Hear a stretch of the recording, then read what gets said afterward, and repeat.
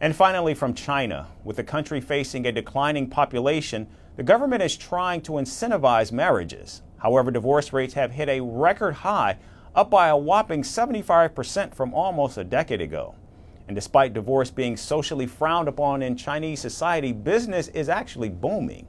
Entrepreneurs are making big bucks from the high separation rates by offering couples a chance to destroy any evidence of their marriage. Our final report offers all the salacious details.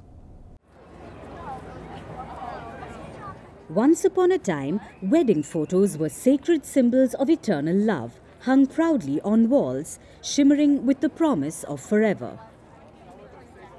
But forever, it turns out, can be quite short. And now, a quirky business is cashing in on the aftermath of shattered hearts thanks to China's record high divorce rates. Enter Liu Wei, the self proclaimed love story morgue operator. He's not your typical matchmaker, in fact, quite the opposite. In 2022, Liu launched a peculiar venture a factory that turns wedding photos and love memorabilia into confetti. But his business is no laughing matter. As divorce rates soar, Liu's company is thriving.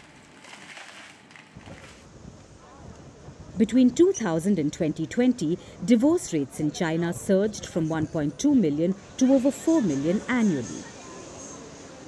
Panicked about the nation's shrinking population, the government imposed a mandatory 30 day cooling off period in 2021 to curb impulsive separations. Though it worked, sort of. Divorce rates fell below 3 million a year, but marriages are still on the decline. That's where Chinese entrepreneurs like Liu have come in. Liu's customers ship these oversized symbols of romance to his factory. There, his team gets to work.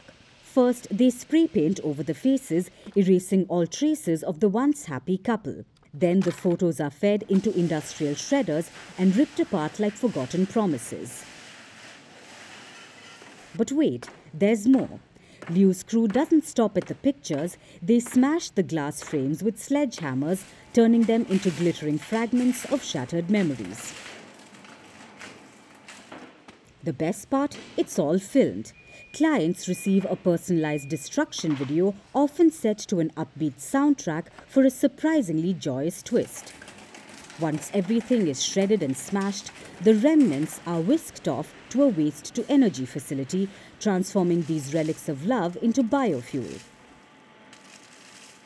So while China wrestles with its shrinking birth rate and fewer marriages, Liu Wei's love story morgue continues to thrive.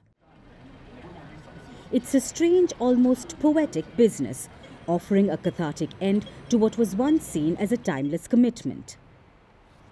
In a country where both partnerships are rapidly evolving, businesses around divorce are booming.